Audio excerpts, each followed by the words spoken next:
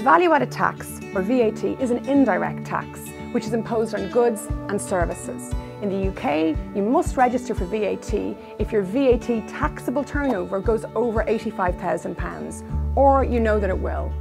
You can register voluntarily if your business turnover is below that threshold.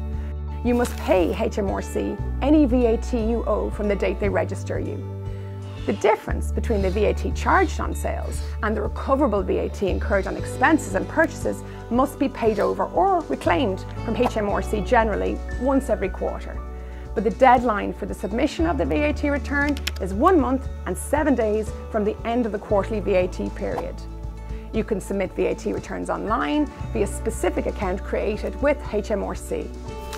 The flat rate scheme definition was introduced for small businesses to simplify the way they account for their VAT so that less time and money is spent on keeping VAT records and calculating VAT payable to HMRC at the end of each period. Businesses using that scheme still charge VAT on their invoices at the appropriate rate and at the end of each period the business then calculates its VAT payment to HMRC as a percentage of this VAT inclusive turnover.